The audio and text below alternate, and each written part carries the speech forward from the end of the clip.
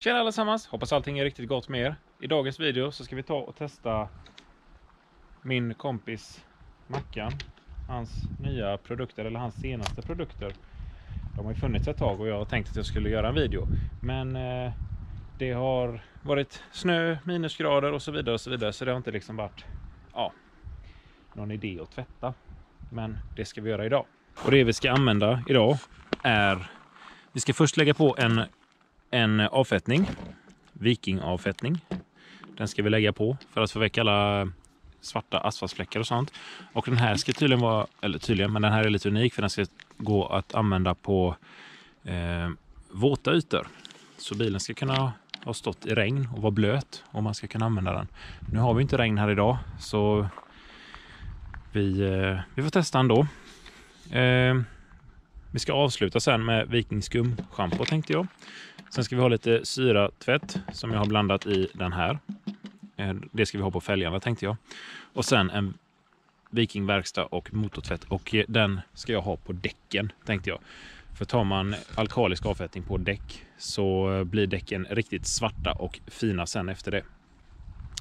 Eh, sen så har vi bara ett par helt vanliga skumsvampar och en högtryckstvätt. Ehm, Ja, vi kör väl igång. Vi ska börja med att lägga på lite avfettning i alla fall. Idag är ganska optimalt väder att tvätta faktiskt för att det är inte något starkt solljus och det är ju ja, det är bara januari månad. Men om man tvättar på sommaren eller så här så kan ju medlen torka in och det blir inte så lätt att tvätta då. Så eh, idag är helt perfekt temperatur och allting sånt till att tvätta. Och vi börjar med avfettningen. Nu är den här bilen väldigt, väldigt skitig så jag kanske får gå på en gång till med avfettning. Men det gör ju ingenting för då får vi testa den på en blöt yta istället.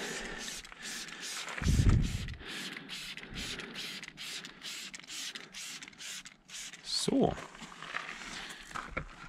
Och så ser vi väl här att det börjar verka. Jo då, det gör det allt. Jag visar ju inte innan hur den såg ut, men det är ju det här klassiska som blir nu när man är ute och kör på vintern. Det är mycket salt på vägarna och du får asfaltfläckar och allting sånt. Sen givetvis så får du asfaltfläckar på sommaren också. Eh, det får du året runt. Men eh, salt och sånt är ju inte så schysst mot bilen. Och det kan vi se här. Det här är en bil som har gått längs med kusten. Vi har det här fina, klassiska som blir på de här bilarna. Så eh, det blir ett utbyte av den dörren. Men ja, vi sprayar på resten här. Runt om.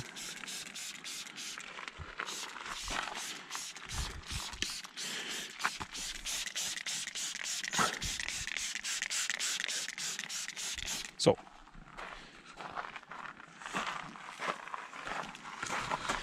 Kan vi faktiskt ta lite grann på däcken och fälgarna här också. De ser inte alltför snygga ut. Kan vi ta här inne också. Så gör jag likadant på resten av bilen och så hoppar vi in sen igen när vi ska spola av den. Nu har jag väntat i en 5-10 minuter kanske och man ser att avfettningen den har jag gjort. Den har gjort verkan i alla fall. Det kan man inte säga något annat om. Så det är dags att spola av.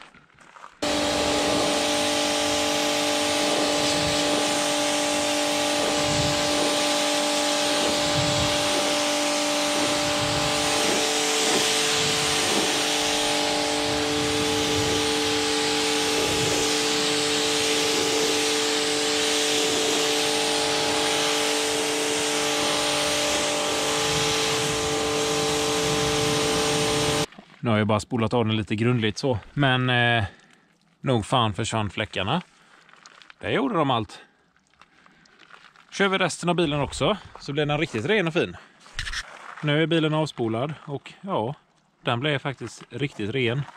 De svarta fläckarna är borta och eh, ja, jag måste säga att jag är faktiskt riktigt förvånad för att vissa avfettningar så måste du faktiskt ta två gånger.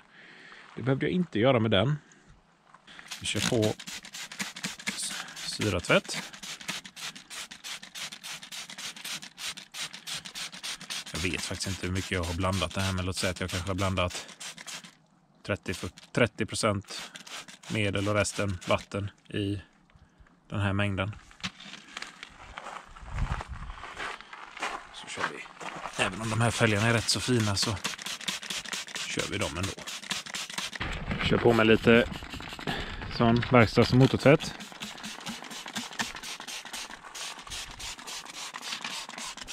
Jag kan ta det på fälgarna också om man vill. Men man ser här nu direkt. Här ser man att det blir alldeles brungrönt. Det är all skit som sitter i däcken som släpper nu. Och vi hjälper till här lite grann med penseln.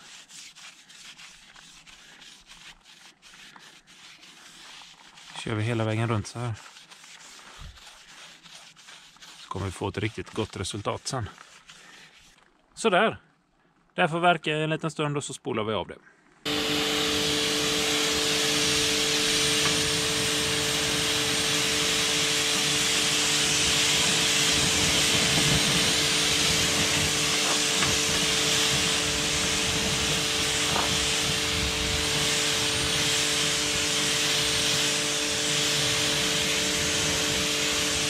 Ja, det här blev väl riktigt bra faktiskt. Jag är helt nöjd. Likadant på de andra tre däcken. Och eh, nu ska jag testa på den här. Men eh, ja. Jag är ju själv här och nu behöver jag ha två händer när jag ska schamponera bilen. Så vi får väl bara göra så att vi, ja, vi hoppar in sen igen när det, när det är gjort. Det är lite avrinning på den nu i alla fall, även om den inte är polerad. Och Det är många som har skrivit att jag borde polera den och sånt och ja, självklart ska vi göra det. Men ja, det här är min bruksbil. Det har liksom bara inte blivit av att man, att man har gjort det. Men eh, självklart ska den poleras.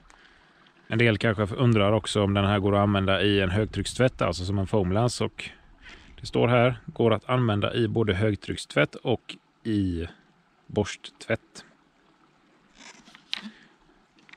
Ja. Vi provar, gör vi. Bilen är nu schamponerad med vikingschampot. Viking-schampot. Så, ja. Inte så mycket mer än att spola av detta nu. Och jag spolar bara av detta nu med trädgårdsslangen. För att den högtryckstvätten den är inte så eh, så kraftig så då får man stå hur länge som helst. Men den var bra till eh, avfettningen och asfaltsfläckarna och det i alla fall. Avspolad och helt färdig. Den blir ju riktigt röd och fin nu. Den här lilla 940. Och denna videon gjorde vi idag enbart med produkter då från Mackans Garage. Ja, förutom eh, tvättsvampen och det då. Men eh, vi har avfettning.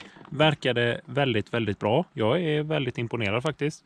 Så den rekommenderas starkt. Jag rekommenderar allt detta också. Men jag har inte provat den här innan.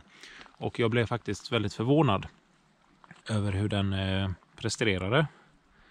Så ja, sen hade vi syratvätten, men den har ni sett ganska många gånger innan. Eh, och sen Viking Verkstads motorsätt. Och schampot, jättelätt att använda. Det var eh, skummade riktigt bra. Man märkte att det hade en väldigt bra verkningsprocess. Så helt klart att rekommendera. Och jag har ju inte fått någonting för att säga det här till er nu. Eh, att det här är bra grejer och sånt där. Utan detta är ju min egna åsikt. Så jag rekommenderar faktiskt att köpa de här grejerna. Och sen är det ju en grej till också. Detta är ju svensktillverkat och sånt gillar jag faktiskt. Jag tycker att man ska bevara sånt för det finns alldeles för mycket produkter och saker och ting som importeras och tillverkas. Ja, bland annat utanför EU och så vidare.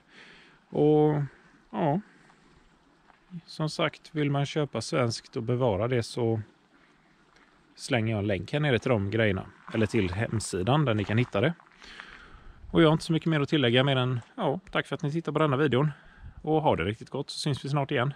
Hej då!